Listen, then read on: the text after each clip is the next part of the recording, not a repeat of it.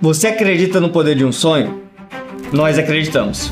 E hoje temos mais de 170 mil motivos, número que aumenta todos os dias, para não pensar em parar nem um segundo. São mais de 170 mil vidas que buscam uma real mudança em suas histórias, que veem na conquista do cargo público a independência e a realização que procuram. Nossa responsabilidade é grande. O Gran Cursos Online carrega uma missão mudar vidas por meio da educação e da tecnologia, formando profissionais qualificados e qualificadas para servir a sociedade.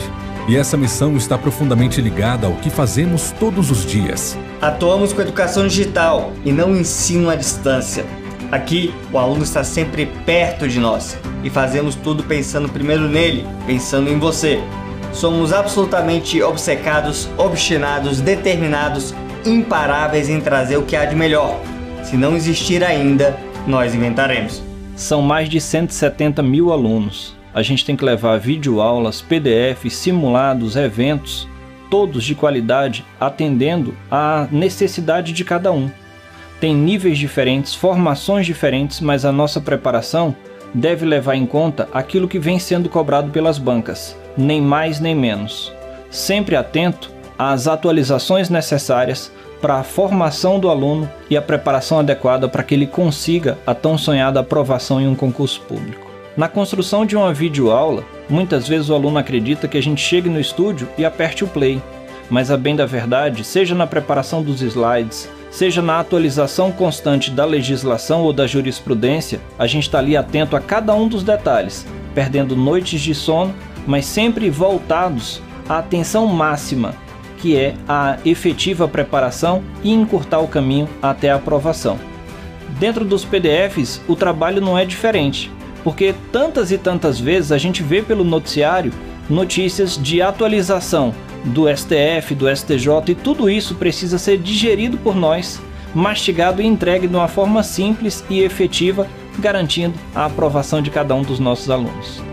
Há mais de 20 anos eu estou dentro do serviço público. Eu já passei por cargos diferentes, como de nível médio, de nível superior e hoje sou juiz de direito. E eu tenho certeza que o nível de exigência das provas significa que o serviço público espera contar com servidores muito bem preparados para bem servir a população. A aprovação em um concurso público não é o final, não é uma, uma reta de chegada, é uma linha de partida.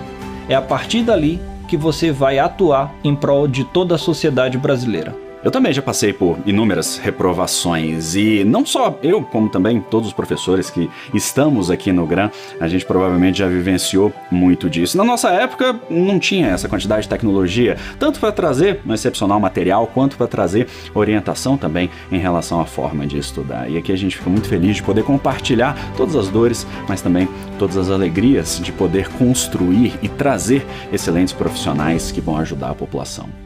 Ser revolucionário faz parte do nosso DNA. Democratizamos a preparação para concursos e provas, levando o melhor conteúdo com os melhores professores na mais moderna plataforma tecnológica até os menores municípios do Brasil, dando chance a todos de competir por igual. Somos tão preocupados com inclusão que, muitas vezes, usando apenas um celular, nosso aluno pode transformar a sua vida. Mas, por trás de toda essa tecnologia, temos pessoas intensamente comprometidas com o que fazem. Afinal, no fim do dia, tudo se resume a pessoas cuidando de outras pessoas. São elas que geram números superlativos difíceis até de dimensionar. Aqui, produzimos e renovamos conteúdo a todo momento. Já são mais de 108 mil videoaulas, 30 mil livros digitais em PDF e mais de 1,3 milhão de questões. Tudo organizado em mais de 24 mil cursos online para concursos públicos e provas, fazendo do Gran Curso Online o ecossistema de preparação mais completo e 100% focado no edital. Além disso, somos a única empresa do mercado que usa inteligência artificial para acelerar a aprendizagem e promover a inclusão social. Estamos apenas começando. Em 2016, nós saímos de uma sala em que mal cabiam 25 pessoas para hoje ocupar diversos andares um dos maiores e mais modernos prédios do centro de Brasília. Já são mais de 470 colaboradores, 520 professores, centenas de parceiros pelo mundo em mais de oito anos dedicados à aprovação de alunos em todo o Brasil, nos mais variados cargos e carreiras. como magistratura, tribunais, polícia, fiscal, saúde, educação, além de provas como OAB, CFC, residências e muito mais. Com a assinatura ilimitada 6.0, o nosso aluno tem tudo o que precisa em um único lugar. Conteúdo de ponta, mentorias e ferramentas de organização de estudos. E agora, em 2021, nossos alunos têm acesso a quatro aplicativos. O app Gran Cursos Online, que permite acesso à plataforma e aos PDFs e videoaulas. O app Gran Cursos Questões, com a possibilidade de resolver questões sem internet o app Gran Audiobooks, que contém mais de 13 mil cursos de todas as carreiras, exame de ordem e leis secas em áudio. E o app Gran Gerenciador de Estudos, para você ter o controle total do seu tempo e do seu desempenho. E somos a única empresa também com aplicativo para televisão e para desktop. Temos a melhor tecnologia e tudo o que você precisa para passar em um concurso público em um único lugar. O estudo é transformador. A tecnologia é transformadora. Por onde passam, mudam o que ali estava e o que ali estará. E nós enxergamos isso diariamente, a cada depoimento que recebemos, a cada abraço forte em aulões de véspera, nos resultados das provas homologadas. Não há sensação melhor do que ver que um sonho se concretizou, que o nosso dever foi cumprido, que um processo de transformação ocorreu e mudou uma história por completo. É por isso que nada vai nos parar, nada vai nos desmotivar. Ajudar você é uma honra que merece toda a nossa garra. A minha história ela começou em 2019, quando eu fiquei desempregado e realmente decidi estudar para concursos. Só que eu estava meio perdido sem saber para qual concurso estudar. Além disso, eu não tinha muito dinheiro. E se eu mudasse de ideia ou errasse na minha escolha, eu não teria mais dinheiro para comprar outro curso ou tentar outra coisa. Foi aí que eu conheci o Gran Cursos Online, os professores e a assinatura ilimitada. Pagar um valor justo por mês e ter acesso a todo o conteúdo e apoio necessário para realizar o meu sonho me fez ter mais segurança na minha escolha de qual carreira eu realmente queria seguir. Eu sei que eu tenho que fazer a minha parte, mas saber que o Gran também está comprometido com a minha aprovação, isso me deixa ainda mais seguro. Eu larguei tudo. Eu não me encontrava na iniciativa privada mesmo tendo bom salário, sabe, eu me organizei financeiramente e aí eu decidi parar de trabalhar e só estudar durante um ano.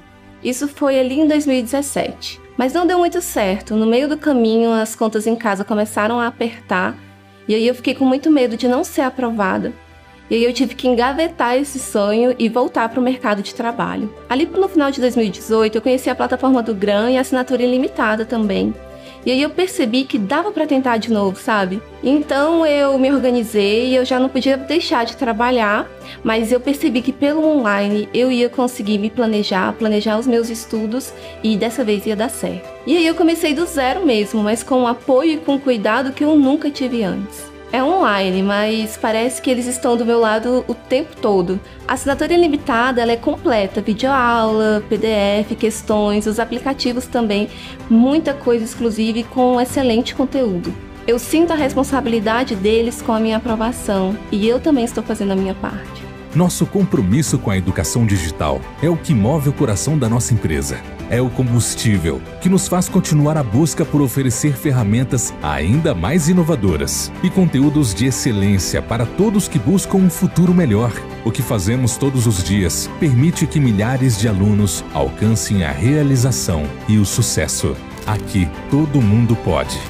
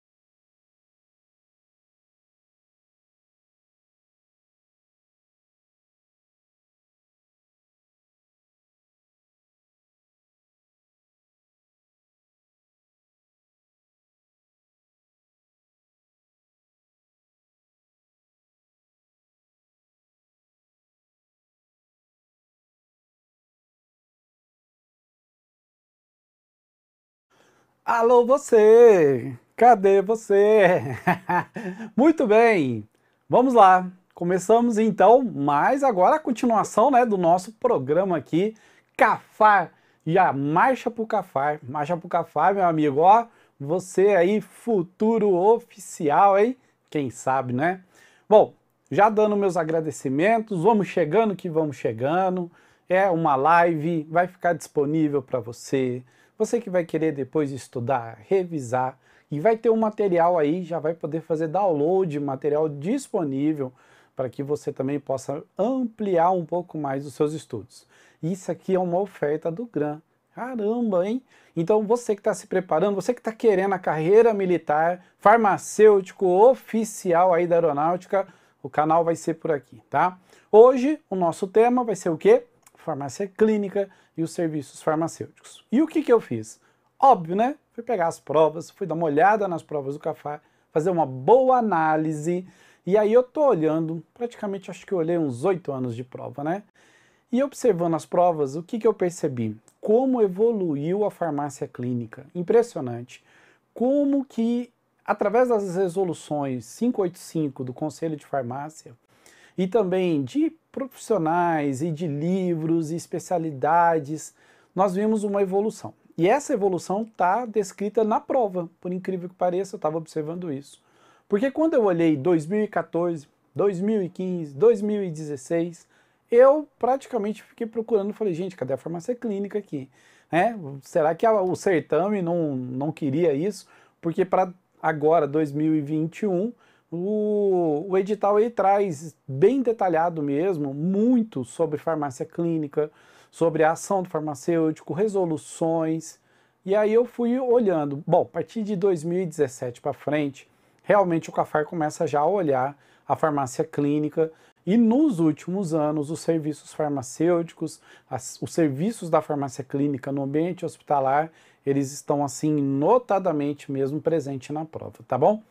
E aí eu fui observando também, existe algumas novidades que eu vou trazendo nos próximos aí eventos, principalmente tem disciplina que cai todo ano ali, é impressionante, né? Farmacoeconomia, uma questãozinha, manipulação, né? Manipulação, olha, farmácia aí na parte de manipulação é, de nutrição parenteral também cai também, todo ano tem uma.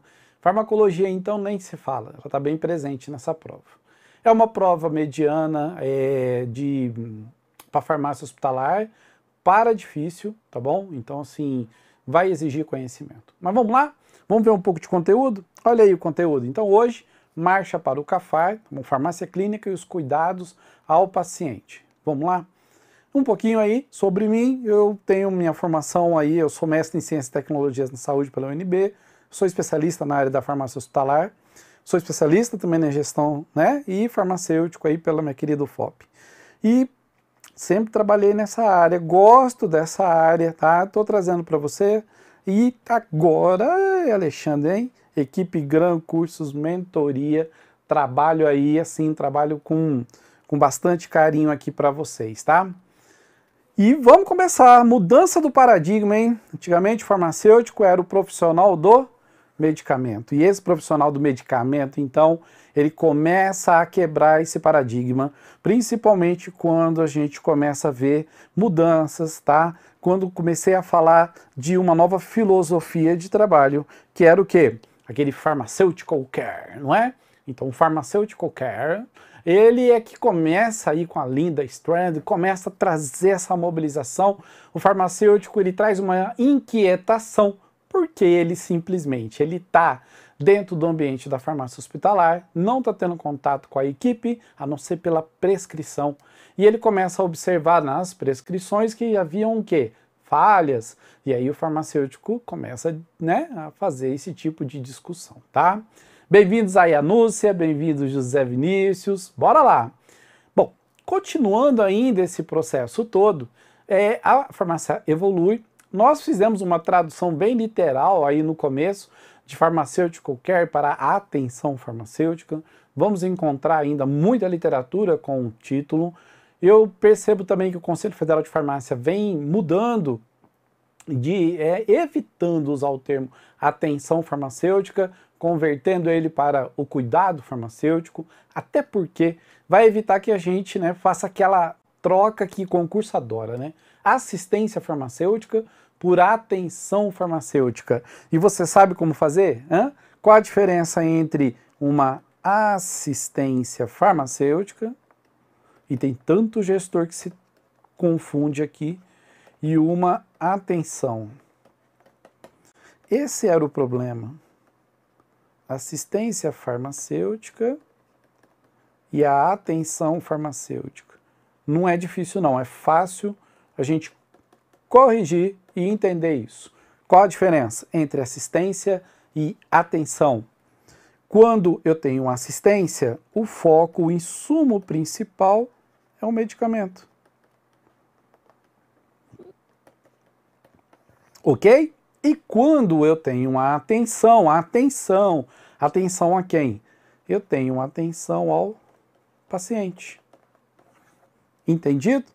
E por isso que o novo paradigma, né, professor Marcelo Polacco traz isso para a gente aqui, colega militar, farmacêutico, e ele traz o quê? Farmacêutico é o profissional voltado ao usuário do medicamento. O foco, então, todo é no paciente. E aí, como eu falei, para tentar melhorar um pouco o termo atenção, as discussões trazem agora é, o processo do cuidado farmacêutico. E esse processo do cuidado, ele não é exclusivo só do farmacêutico, não. O processo do cuidado acontece é, em todas as profissões da área da saúde, né? Esse procedimento de acolher o paciente, ele não... Cuidado, ele existe para medicina, ele existe para enfermagem, para físio, ah, para todas as áreas, o procedimento do cuidado. A farmácia acaba adaptando um melhor termo, tá? Fica de olho nessa aqui, então.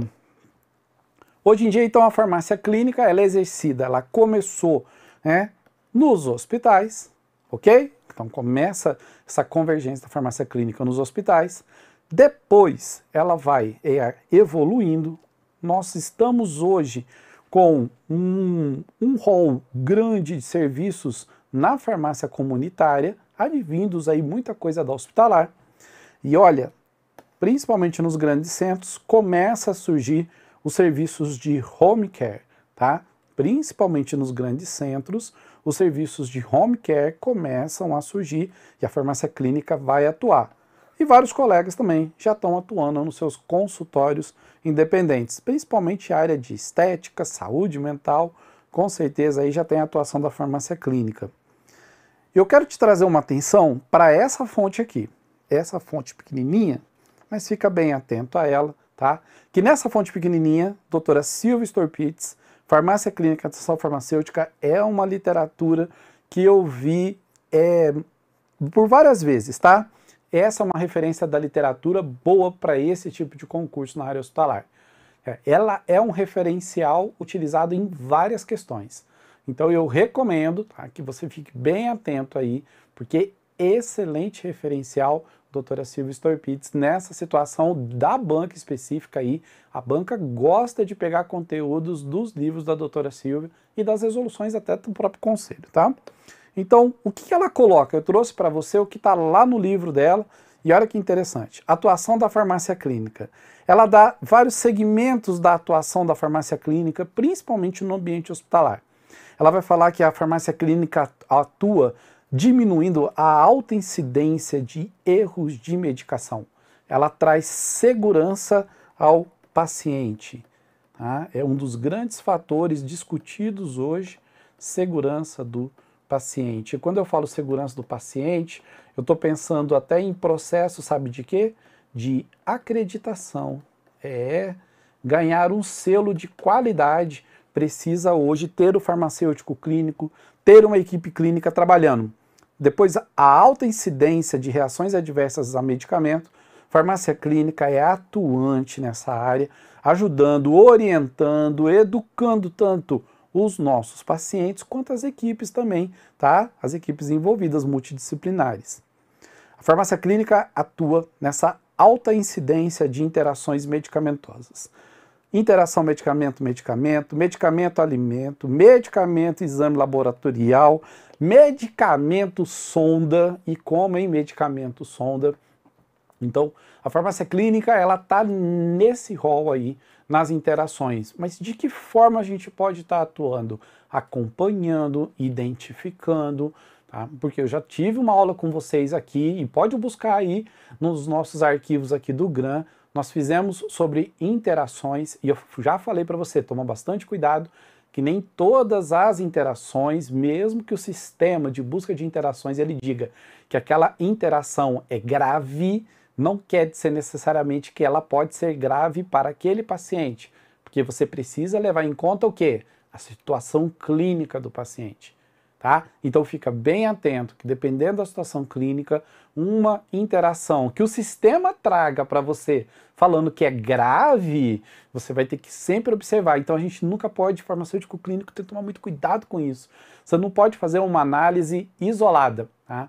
Eu esses dias me perguntaram qual seria o sistema ideal de um sistema de interações medicamentosas. Eu falei, olha, para mim ia ser se ele tivesse no algoritmo dele um ponto também de análise dos parâmetros do paciente. Opa, como assim?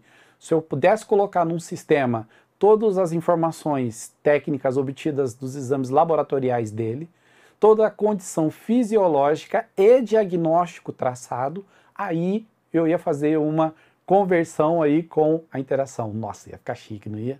Então aí você ia poder tomar farmacêutico clínico uma decisão realmente colegas da saúde, não estou falando só farmacêutico não, hein?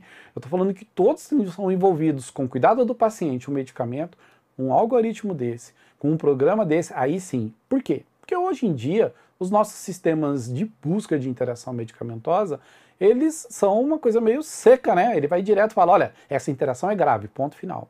E aí você tem que ficar bem atento na condição clínica do paciente. Claro que uma condição, às vezes, de uma interação moderada pode ser grave dependendo da situação clínica do paciente. Também tem essa situação. Porém, eu já dei o meu parecer. Quem sabe se um dia a gente não vai ter um bom programa aí que não somente faz a interação, você joga ali o fármaco, mas ele também vai falar para você, olha, mas baseado na condição clínica do paciente, e aí tem uma evolução. Eu falo isso de própria experiência, já de ter conversado com as equipes aí, muitas vezes com nossos prescritores, e ele fala: olha, nessa situação eu preciso de uma interação potencializada, que aparentemente vai ser grave, mas para esse paciente vai ser boa. Tudo bem? Vamos continuando aqui mais um pouquinho. Quatro, incompatibilidades das misturas intravenosas. Tá? Então, quem trabalha no ambiente hospitalar sabe, gente, que direto a gente tem uma situação de perguntas onde fala: eu posso passar esses dois medicamentos no mesmo acesso? Eu posso colocar tudo na mesma bolsa, fazer no mesmo soro? Então essas perguntas são importantes. O farmacêutico está aí para apoiar a equipe, tá? E atrogenias, a gente tem que tentar evitar sempre o erro, mas lembre-se, hein, a gente já estudou isso em segurança do paciente. O erro é o quê? O erro é humano, né? É intrínseco do ser humano, nós erramos. Professor, mas a gente erra, a gente erra, tá? E ainda mais erra quando a gente trabalha em dois plantões, ainda mais erra quando a gente tem um volume grande de demanda de trabalho. Por isso que os erros no ambiente hospitalar acontecem. E como é que a gente minimiza os erros dentro do ambiente hospitalar? Nós minimizamos com o trabalho da farmácia clínica. Nós minimizamos criando barreiras de segurança dentro do ambiente hospitalar. Barreira de segurança, guarda bem isso. O que, que é uma barreira de segurança? Dupla checagem. Dupla checagem é uma barreira de segurança. Ah, professor, tripla checagem. Olha, se você está fazendo mais de duas, já estou gostando, você já está fazendo checagem. Tá? Em vários momentos, em várias etapas do teu processo produtivo processo produtivo, porque você produz o quê? Separa medicamento, você faz uma separação de horários, vai depender também do tipo de distribuição que o seu hospital vai ter. O seu sistema é coletivo, o seu sistema é individual, o seu sistema é misto, é dose unitária. Então, dependendo do sistema, a complexidade do sistema, ele envolve também riscos, tá? E risco maior está em quem? Naquele que é o mais fácil. Vamos botar o coletivo, é o que tem maior riscos, né? Depois o sistema individualizado também tem risco e da dose unitária a gente diminui bastante, porque a gente consegue fazer um, uma boa rastreabilidade e também tem o processo de validação da prescrição para sair da farmácia. Claro que essa não é uma realidade de muitos hospitais no nosso país, tá? mas já temos experiências bem consolidadas no nosso país, aonde quem autoriza a prescrição ir ao paciente é o farmacêutico clínico é o serviço de farmácia clínica que vai validar aquela prescrição, vai analisar, vai verificar se está de acordo com o paciente, com o diagnóstico, com o protocolo institucional e se principalmente não tem o quê? As interações medicamentosas e se vai acontecer a possibilidade de eventos adversos ou se aquela prescrição já entra rapidamente aonde no indicador aí da instituição. Olha, eu tenho um indicador de risco de quedas. Eu vou cuidar. Por quê? Porque eu tenho benzodiazepínico na prescrição. É um paciente acima de 70 anos que está no nosso ambulatório risco de queda, prevenção de quedas. Então, tá vendo? É muito dinâmico o, farmácia, né, o trabalho da farmácia clínica. E você vai ver até o final dessa live aqui que é enlouquecedora a quantidade de ações que dão para ser feitas. E vai cair sim sobre a responsabilidade da equipe, tá? A farmácia clínica, ela é um braço importante dentro da farmácia hospitalar. Isso é fato, tá? Traz garantias de segurança e traz também o quê? Economia, gente. Tem gestor que tem que ver aí que o farmacêutico clínico, ele não só apoia a equipe multidisciplinar, mas ele acaba trazendo muita economia e economia de vida. Porque eu estou falando que nós conseguimos influenciar o quê? A segurança do paciente, tá? Com bastante aí afinco aí ação. Continuando, hein? Subutilização de recursos humanos, a farmácia clínica vem para melhorar, vem para evitar desperdício de medicamentos, tá? Sendo que medicamentos eles impactam no custo do hospital. Então, a atuação da farmácia clínica está nesses pilares. Mais um pouquinho. As atividades clínicas, continuando aqui no nosso referencial. As atividades clínicas, práticas exercidas por farmacêutico no âmbito da farmácia clínica. De acordo com Storpides, é o seguinte, ó interpretar, questionar e validar as prescrições médicas. Acabamos de falar isso. Monitorar a farmacoterapia dos pacientes. Gerenciar farmacoterapias específicas. Aí, professor, mas olha os exemplos aí.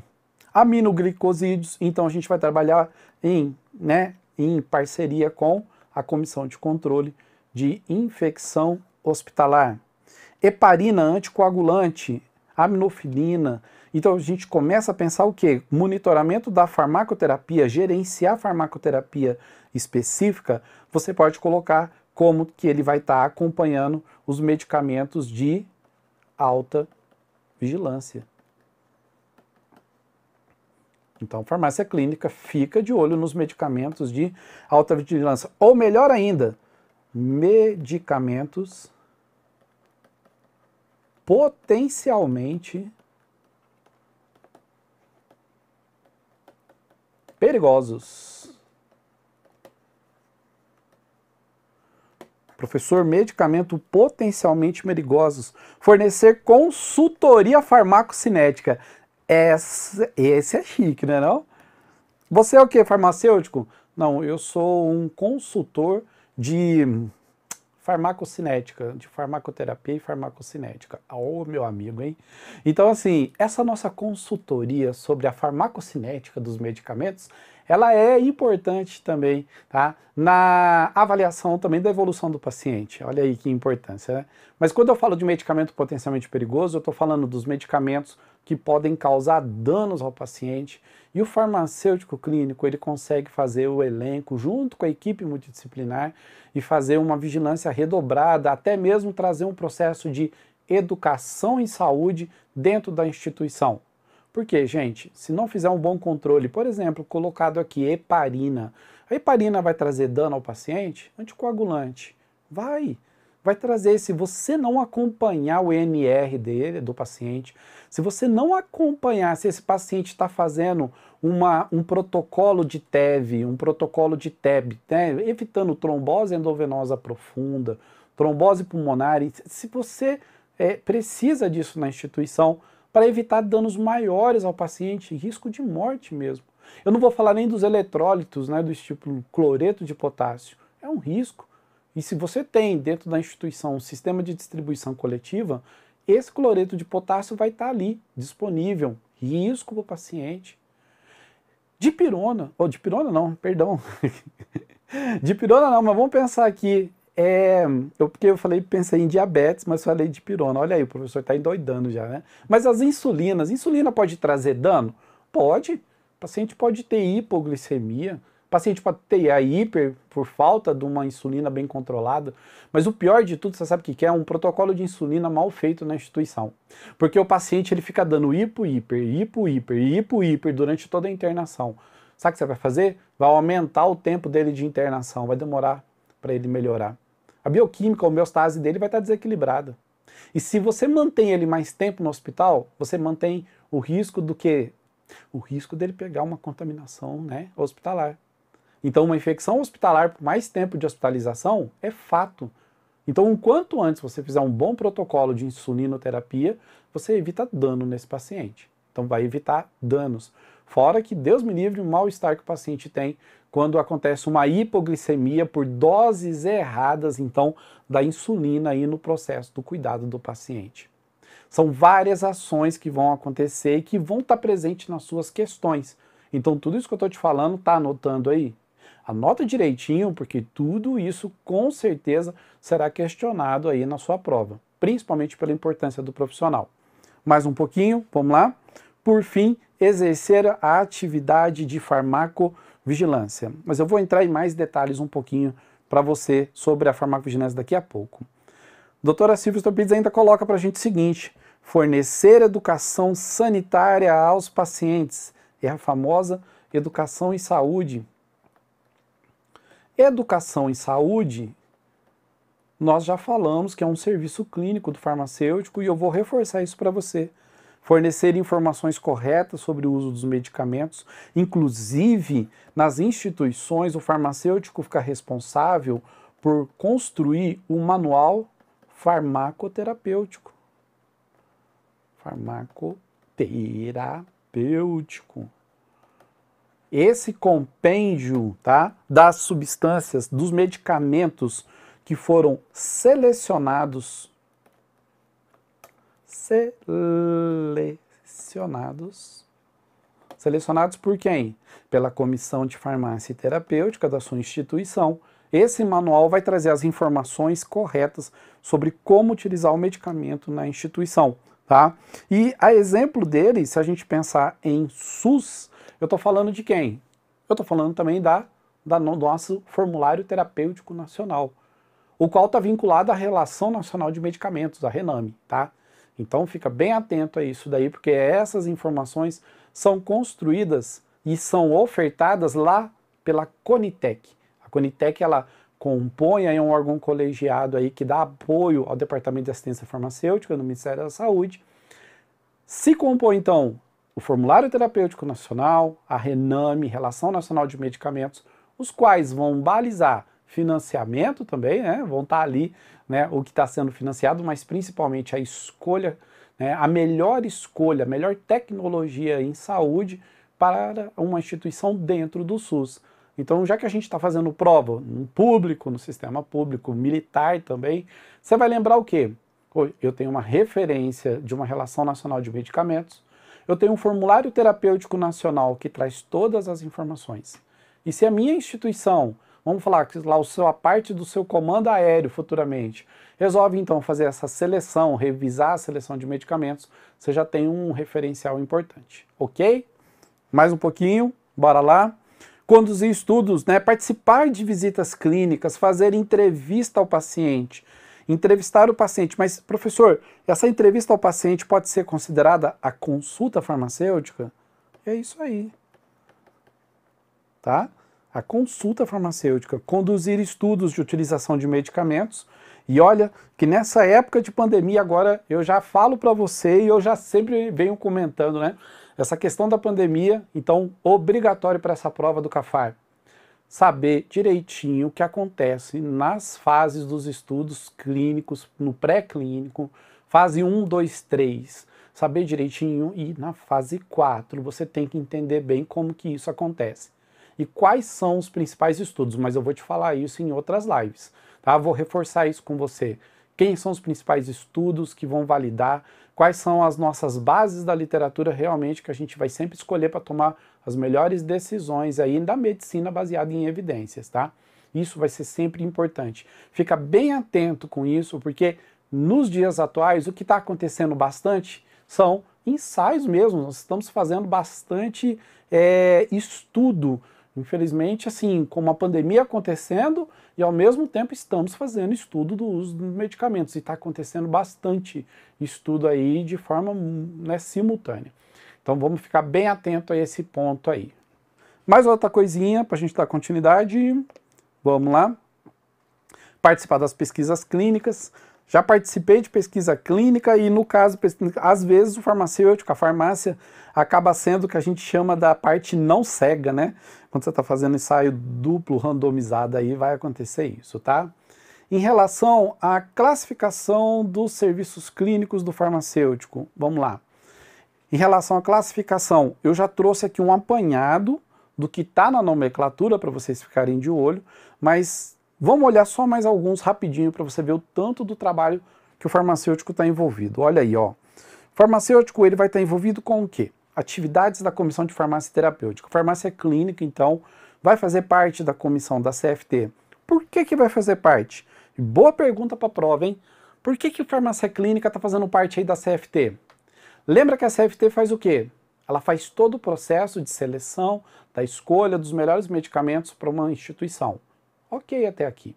Agora eu falo para você, como é que você vai fazer uma inclusão de um novo medicamento nessa lista? Ou, de repente, como é que você vai analisar uma solicitação de inclusão? É isso mesmo.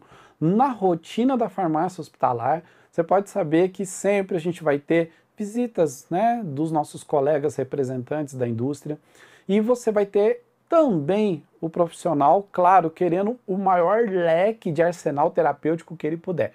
Ah, então, assim, a, a, medicina, o médico, ele não vai, ele vai querer, o, o que ele tiver de arsenal, tá certo, né? O que ele tiver de arsenal, ele vai querer fazer uso ali. Tá certo até um ponto, tá? Porque vai depender muito, principalmente pensando em SUS, vai depender muito de uma questão orçamentária. Infelizmente, a gente tem que saber escolher bem, escolher aquele com o melhor preço, melhor eficiência, tá? Poder atender assim da melhor parte possível, a melhor quantidade do perfil até epidemiológico que tem aí no seu hospital, na tua região. Então, farmacêutico clínico vai fazer parte da CFT, é fato, tá? Vai precisar dele lá na comissão de farmácia terapêutica. E você, farmacêutico clínico, que vai fazer a análise dessa solicitação de inclusão, se realmente ela vai ter uma análise. Então, quando a gente estudar farmacoeconomia, a gente vai ver que existem análises, tá? Que não é exclusivamente só a eficácia e eficiência desse medicamento. Você vai ter que fazer uma análise também orçamentária. Então, tem que somar uma coisa com a outra. Tem que ter um preço justo que consiga fazer o tratamento do seu paciente aí de uma forma eficiente, tá? Sistema de monitorização de erros de medicação. Então precisamos construir, vamos construir o quê? Indicadores. Como é que você fala que o seu local que você trabalha é seguro? Como é que você sabe se tem segurança ou não, tá? Sistema então de reações adversas. Olha, é o sonho de consumo que tudo isso que está aqui aconteça, tá, gente? Não quer dizer que na vida real aconteça, mas aqui ele está trazendo para a gente, tá? Que eu posso ter um sistema de registro de reação adversa, de notificações, nada como ter, sabe o que? Um núcleo de segurança, núcleo de segurança do paciente. E isso tem resolução para isso. Um núcleo de segurança do paciente vai estar tá monitorando tudo isso daqui. Criar boletins informativos. E aí eu já estou indo para onde? Eu estou indo para um centro de informação dos medicamentos. Farmacocinética clínica, aí ó, farmacêutico clínico é um consultor da farmacocinética, tá? Também equipes de suporte nutricional, principalmente a equipe multidisciplinar de terapia nutricional, a famosa EMTN, o farmacêutico é peça importante nisso, tá? Quem me dera aí, ó, junto com os colegas nutricionistas clínicos, quando você começa a realmente trabalhar na equipe é, multiprofissional, nos rounds clínicos, quando você vira para o colega da nutrição clínica e fala, olha, esse medicamento vai ser via sonda. Qual que é a nutrição que está acontecendo ali? Na mesma sonda nasogástrica, você vai descobrir que determinados momentos é melhor não fazer os dois próximos, ou a gente vai ter interação do medicamento com a sonda. Isso tem que ser avisado para a equipe, para o colega da nutrição, tá? Para não ter risco também de ter que ficar trocando sonda, que é outra canseira aí que a equipe acaba aí acontecendo porque tem entupimento de sonda nasointeral, porque tentou se fazer no medicamento e ele não é, é, não era compatível, né, com a sonda ou houve adesão. Então existe sim, tá? É bom, enfim, trazendo que a literatura escolhida, a literatura que é base, eu vou falar muito dela durante esse café, tá? Eu vou falar sempre para você porque ela tá é a literatura de escolha aí principal da banca.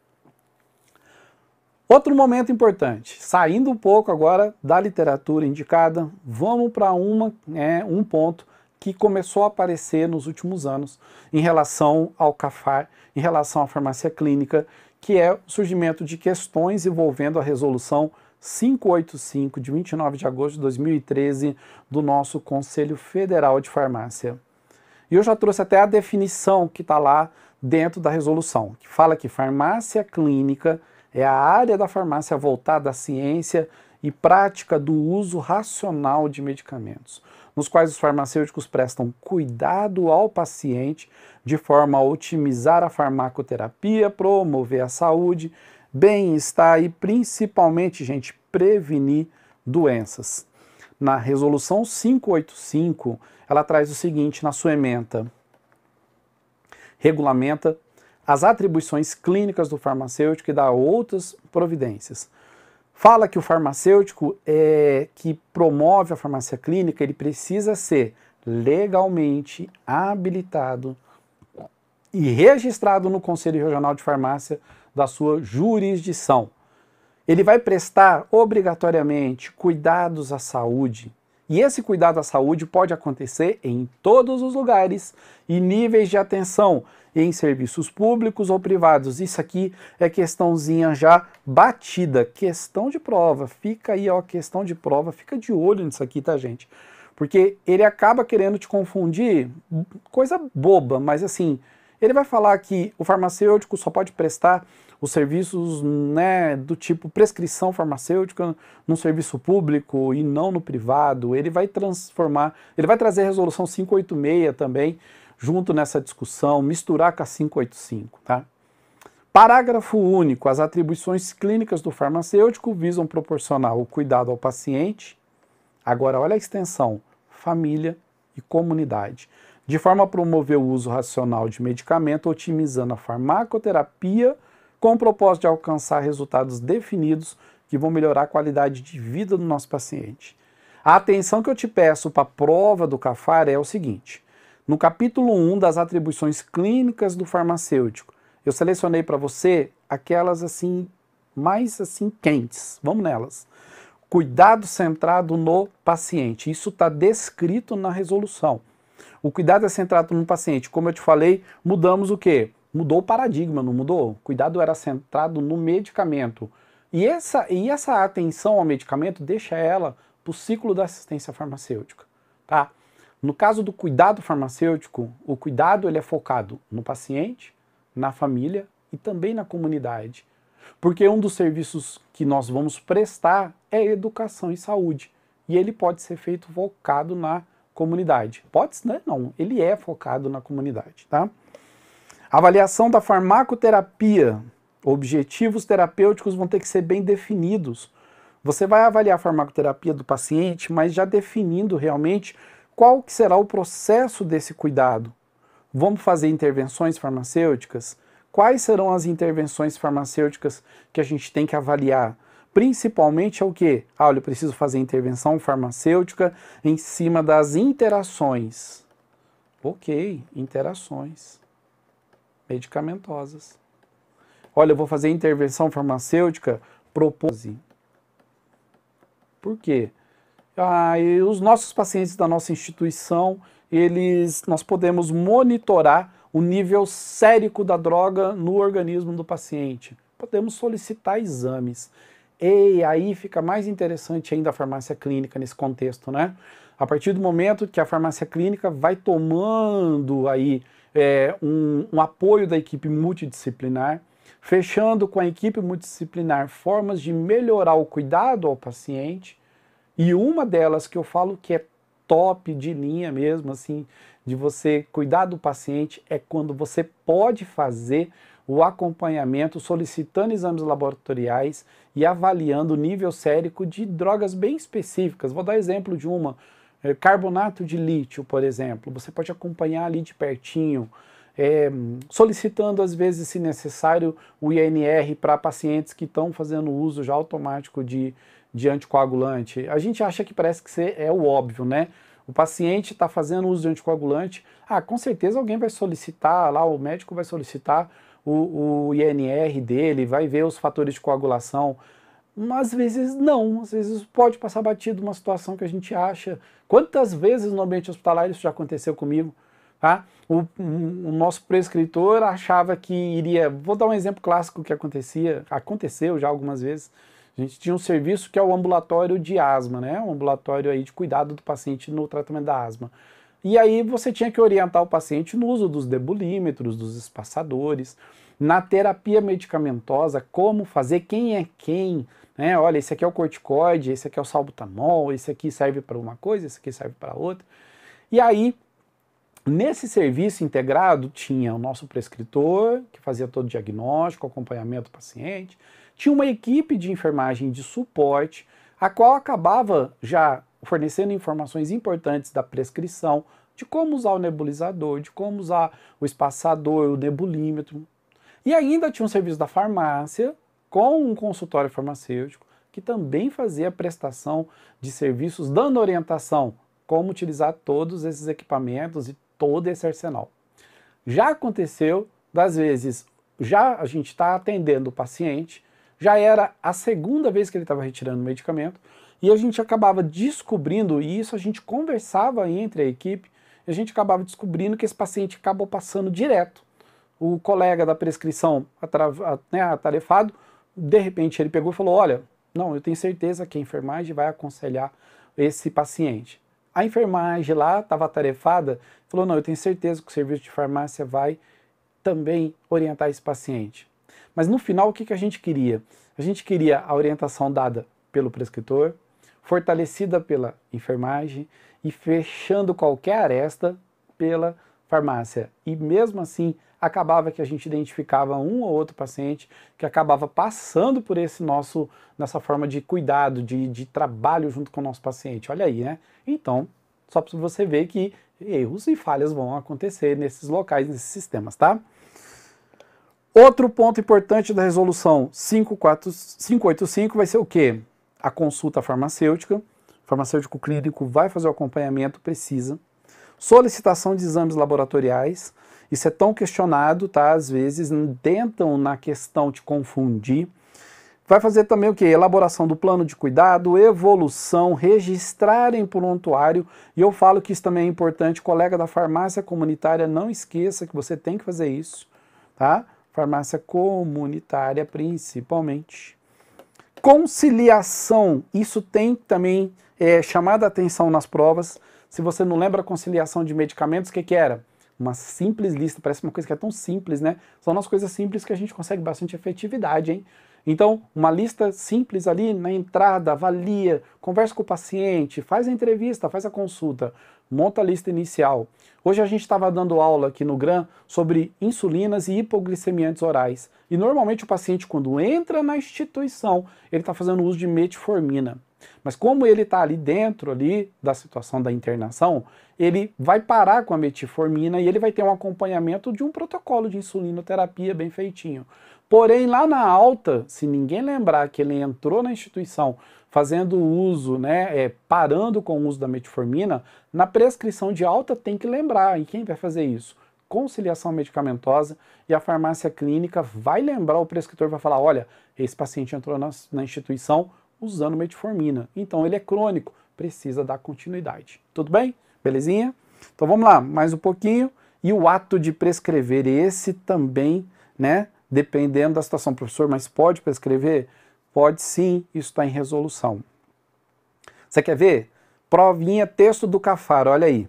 Conforme previsão na Resolução 585-2013, dentro das atribuições clínicas do farmacêutico relativas ao cuidado à saúde no âmbito individual e coletivo, analise as alternativas abaixo. Então já está caindo 585 na prova do CAFAR, tá? Participar e promover das discussões de caso clínico de forma integrada com os demais membros da equipe de saúde. Show de bola, não é? Depois, prover a consulta farmacêutica em consultório farmacêutico ou em outro ambiente adequado que garanta a privacidade do atendimento. Depois, fazer a anamnese farmacêutica, bem como verificar sinais e sintomas com o propósito de prover cuidado ao paciente. O quarto, organizar e interpretar, se necessário, resumir os dados do paciente a fim de proceder à avaliação farmacêutica. E aí ele te pergunta quais que estão corretas, tá? Quais que estão corretas? E olha aí, para seu deleite, todas estão corretas. Então isso aqui foi questão já prova Cafar, tá? Praticamente ele fez o quê? Pegou na íntegra e colocou em questão. Foi isso que ele fez. E aproveitando que a gente falou da consulta farmacêutica, é um atendimento, definição, tá? Consulta farmacêutica é o atendimento realizado pelo farmacêutico em paciente, respeitando princípios éticos e profissionais com a finalidade de obter os melhores resultados com a farmacoterapia, promover o uso racional do medicamento e outras tecnologias. Mas eu coloquei isso aqui para te perguntar o seguinte, meu querido, minha querida que me, assusta, me assiste. É, consulta farmacêutica, que me assusta, olha ele é um serviço clínico? Eu considero um serviço clínico do farmacêutico? Consulta farmacêutica pode ser chamada de serviço clínico? Fica atento com isso, tá bom? Sabe por quê? Consulta farmacêutica não é serviço clínico, tá? A gente vai falar quais são aqui. Mas consulta farmacêutica não é. Consulta farmacêutica é um momento de interação entre paciente e o profissional. Isso é fazer a consulta, mas isso não é serviço clínico. Fica bem atento, hein? Isso é pegadinha, hein? Ok? Outra questão, CAFAR também. De acordo com a resolução do Conselho Federal de Farmácia 585, 29 de agosto de 2013, é correto afirmar que é ato profissional no qual o farmacêutico seleciona e documenta terapias farmacológicas e não farmacológicas. Olha aí, seleciona e documenta e outras intervenções relativas ao cuidado à saúde do paciente, visando a promoção, proteção e recuperação da saúde e a prevenção de doenças. Agora fala para mim, o que, que é isso? Farmacêutico selecionar e documentar terapia farmacológica e não farmacológica e outras intervenções. Hum? Dispensação, consulta, prescrição, segmento. Eu achei uma questão pegadinha essa, viu? Para mim é pegadinha. Vamos lá? É dispensação? Não. Você fazer o quê? Selecionar e documentar a terapia? Não. Agora, é consulta? Hum, é prescrição. Por isso que eu estou te falando. É um tema assim que você às vezes não dá valor. Prescrição farmacêutica, ela é tema também da 586 mas ela teve, vamos botar o preâmbulo, ela começou a ser discutida na 585 e o CAFAR cobrou isso em prova. Ele perguntou, falou, olha, o ato do farmacêutico selecionar e documentar as terapias, né, tanto medicamento farmacológico e não farmacológica, fazer essa orientação, ele está fazendo o quê? A prescrição do farmacêutico, hein? Fica atento com isso, tá? Mais uma, são as ações, são ações que caracterizam uma gestão clínica da assistência farmacêutica, exceto. Então eu estou falando agora o que? Gestão clínica. Aonde? Da assistência farmacêutica. Participação ativa na auditoria de antimicrobianos, exceto, hein? O que, que não é clínico aqui? Implantação de distribuição automatizada de medicamentos no centro de terapia intensiva ou seja, eu vou arrancar minha farmácia satélite de lá e vou botar um dispensário eletrônico. Seleção de medicamentos empregando os princípios da farmacoterapia baseada em evidência e desenvolvimento em conjunto com a Comissão de Farmácia Terapêutica de programas de terapia Sequencial e intercambiabilidade terapêutica, top também. Qual desses itens não tem nada a ver com a clínica, com a parte clínica? Quem não tem nada a ver com a parte da clínica é o quê? Diretamente, tá? Implantação da distribuição automatizada de medicamentos. Então, isso aqui a gente vai deixar para o pessoal lá da farmácia hospitalar, né? Então, é mais administrativo do que gestão clínica. Questão CAFAR, tá? Fica bem atento aí, tem muita pegadinha. Então, quando você for estudar a resolução 585 de 2013, o que, que eu vou te indicar? Querido, minha querida, vai direto no capítulo 1 das atribuições clínicas do farmacêutica, tá? No artigo 7, fica bem atento, leia com carinho, a lei seca mesmo, a resolução na íntegra.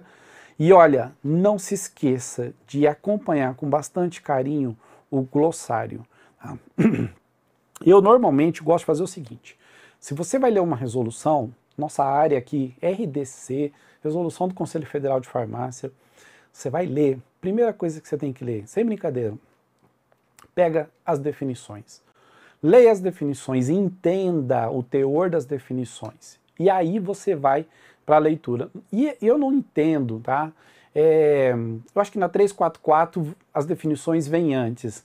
Mas quando você olha outras resoluções, acabam deixando os conceitos e definições, às vezes, o final da resolução ou por um anexo. Eu falo para você, é mais importante que você leia primeiro as definições e entenda o que está escrito na definição e vai para a leitura da, da tua resolução. Você vai entender melhor a resolução e vai aplicar as definições. Por que, que eu estou te falando isso? Porque as questões estão literalmente copiando a definição e fazendo uma pequena mudança, perguntando se é certo ou errado. É isso que está acontecendo nas resoluções. Então você percebeu que nesses últimos anos, eu percebi, você não, mas eu percebi que a resolução 585 ela tem prevalecido sim, tem aparecido e surgido em cada uma das últimas provas dos últimos três anos, tá? Então, ficou atento? Então, farmácia clínica, o foco é em quem? Fala para mim. Centrado no paciente. E você vai fazer todo esse processo do cuidado.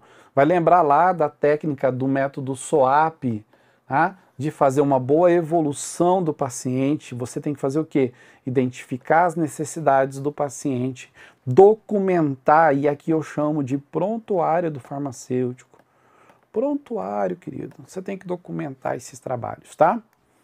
Serviços farmacêuticos, e aí vamos ficar atento com quem?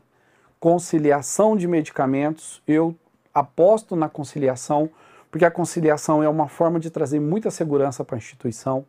O que, é manejo de saúde de problemas autolimitados? O manejo de problemas autolimitados. Isso aqui é um avanço na farmácia clínica, lá na farmácia comunitária. É você poder cuidar do seu paciente. Olha, a Anvisa recentemente acabou de lançar uma atualização dos medicamentos isentos de prescrição, que são esses os medicamentos que o farmacêutico pode atuar nesse manejo de saúde de problemas autolimitados. Como é que eu trato piolho? Como é que eu trato acne? Como é que eu ajudo o paciente na questão de uma constipação? Como é que eu ajudo o paciente, sei lá, com encravada, com tínia corpóris?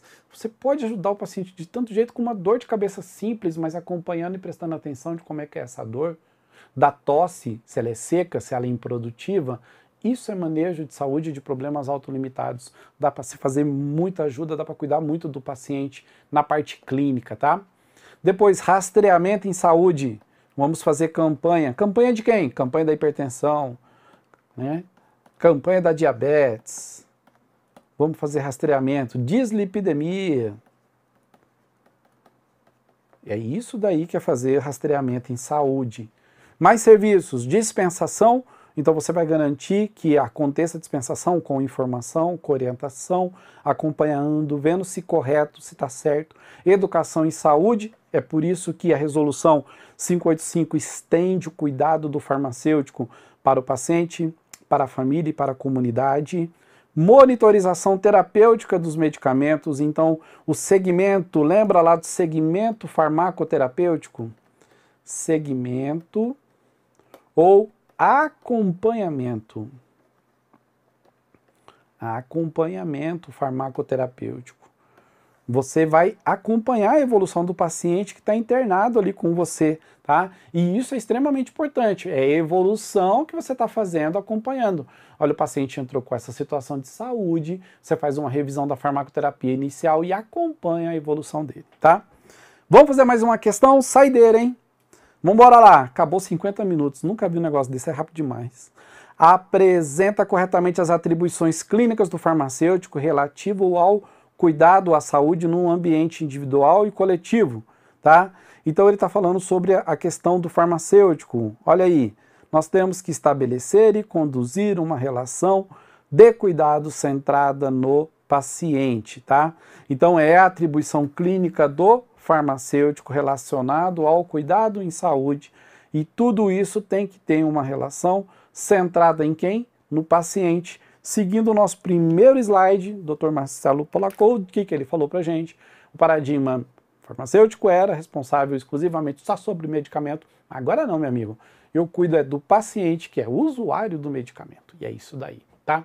Fechamos os nossos 50 minutos aí rapidinhos de live para trazer para você informações importantes sobre serviços, clínicos do farmacêutico, resolução 585. Leia com carinho. Ela é pequenininha, ela é curtinha. Faça um bom resumo, coloca aí, porque eu tenho certeza que uma resolução 585 vai estar presente na tua prova do CAFAR, tá?